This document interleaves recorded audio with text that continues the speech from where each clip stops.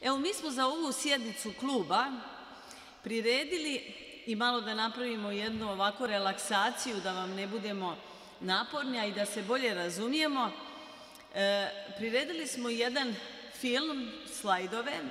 o tome što je, što je to bio agrokomerc nekad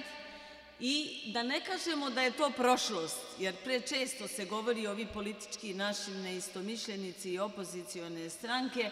znaju reći da je taj naš koncept zastario, da je koncept pogrešan,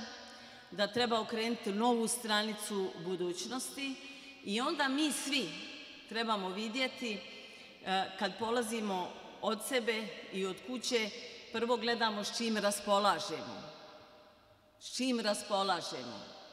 Ono što je najveći resurs naše lokalne zajednice jesu oni temelji na kojima su nekad počivala radna mjesta za preko 12,5 tisuća e, radnika i 7,5 tisuća kooperanata. To ćemo danas pogledati da se podsjetimo, da malo progovorimo o tom našem konceptu i da vidimo da li je ovo što danas radimo i činimo stvarajući radna mjesta i boreći se sa negativnom kampanjom